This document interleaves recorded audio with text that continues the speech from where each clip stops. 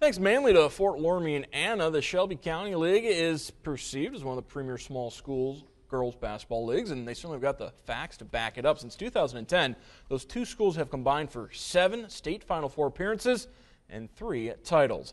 Meeting today in Fort Loramie, Carlos Eagles club trying to stay perfect in the league. Starting fast, Haley Bonanza takes a skip past, scoops it home for the Loramie Army. Other end Rockets, Chelsea Kerms gets it to Caleb Bensman, future Ohio Dominican Panther with bucket. The Loramie too tough at home. Interior passing from Kelly Turner to Holly Fry. Fry, 22 points to lead all scorers. And then Turner takes the open lane for two more. Fort Loramie improves to 4 0 in the Shelby County League with the 19 point victory, 61 42. And you can see that game tomorrow night at 6 on WOSN.